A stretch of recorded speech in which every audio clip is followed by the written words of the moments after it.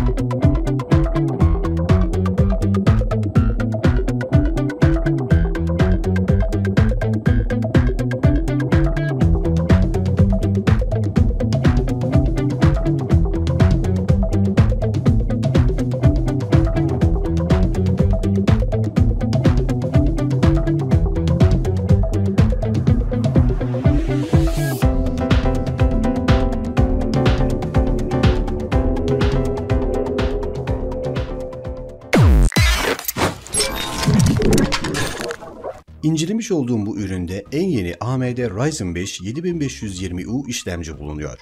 4 MB cache belleğine sahip olan bu işlemci 4 çekirdek ve maksimum 4.3 GHz hızında çalışıyor. Üründe harici bir ekran kartı yok. İşlemcinin içinde bulunan DirectX 12 destekli 4 GB AMD Radeon 610M grafik kartı bulunuyor.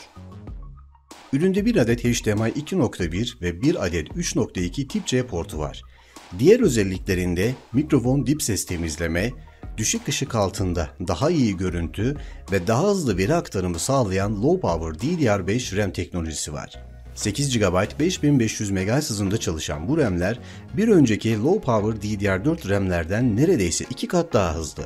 Bu tip RAM'ler önce cep telefonlarında kullanıldı. Ancak mobil bilgisayarlarda yani laptoplarda da artık sıklıkla kullanmaya başlandı. Bu RAM'ler daha fazla enerji tasarrufu sağlıyor ve daha az güç tüketiyor. Bu da hem bilgisayarı hızlandırıyor hem de batarya performansını artırıyor. Tek sorun değiştirilemiyor ve artırılamıyor olması. Çünkü anakarta gömülü halde geliyorlar. Böylelikle bu teknolojinin kullanıldığı bütün cihazlar hafif oluyorlar. Ürün toplam 1.78 kilogram ağırlığında. Yükseklik 18.9 milim, genişlik 362.9 milim, derinlik 237.5 milim.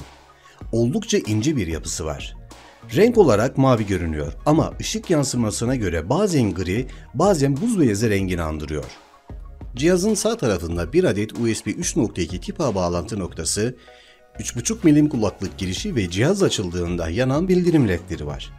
Sol tarafta ise güç girişi, USB tip C portu, 2.1 HDMI çıkışı, 1 adet USB 3.2 tip A bağlantı noktası var. Dikkatinizi çekti mi bilmiyorum. RJ45 portu yani Ethernet girişi yok. Cihaz sadece Wi-Fi üzerinden internete bağlanıyor. Kullanılan Wi-Fi teknolojisi ise Wi-Fi 6E 802.11ax. Cihaz önde 2, arkada 2 toplam 4 adet kauçuk papuçla dengede duruyor. Fan bloğu ise bayağı büyük. Oldukça sessiz çalışan bu fan turbofan özelliğine sahip oyun laptopları gibi arkaya hava akışı sağlıyor. Oyun oynamadığınız sürece fan sesini neredeyse hiç duymuyorsunuz.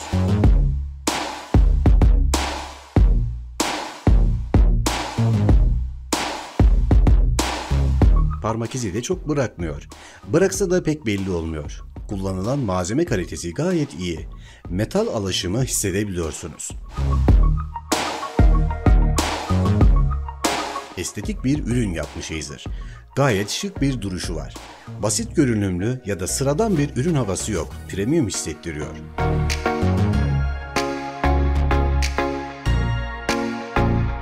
Menteşeleri de her türlü test ettim. Hafif olmasına rağmen ekran kasayı kaldırıyor. Ama zamanla menteşeler yumuşayabilir. Tekerle açması zor, çift elle açmak gerek.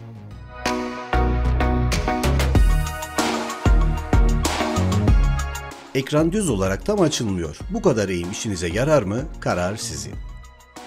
16'ya 9 inç olan ekran ise 1920'ye 1080 çözünürlüğünde. Standart yenileme hızı 60 Hz. Üründe LCD panel kullanılmış ama IPS paneller gibi canlı renklere sahip. Bir de Acer'ın bu ekranda mavi ışık kalkanı adı verdiği bir teknolojisi var. Merak edenler için bir de tuş sesi ve tuş hassasiyetini görelim. Bu arada klavyede arka ışık yok.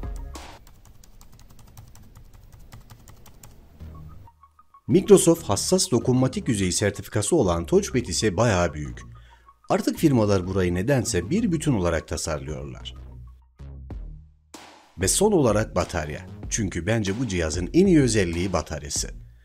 Oyun oynamadığınız sürece lityum polimer pil neredeyse bir günü çok rahat çıkarıyor. Acer Aspire 3 AMD FreeDOS olarak geliyor. İçinde herhangi bir işletim sistemi yok. Bunu kendiniz yüklemeniz gerek. Bir sonraki videomuzun da konusu bu olacak. FreeDOS bilgisayarlara nasıl sistem atılır, bunun için neler yapmak gerek merak ediyorsanız o videoyu bekleyin. Acer Aspire 3 AMD Windows uyumlu olduğu için Windows 11 Pro yükledim. Videomuzun son bölümünde cihazın özelliklerine bir de sistem çalışırken bakalım. Bilgisayarın önemli donanım özelliklerini buradan görebilirsiniz. Özetle bu laptop için şunu söyleyebilirim. İçinde barındırdığı özelliklerle gayet iyi bir ürün. Evde, işte, okulda, kısaca oyun oynamadığınız sürece bütün işlemlerinizi rahatlıkla yapabilirsiniz. Hem de gayet hızlı ve seri bir şekilde. Evet, bugünlük de bu kadar. Bugünkü videomuzda Acer Aspire 3 AMD model laptopun kısa bir incelemesini yaptık.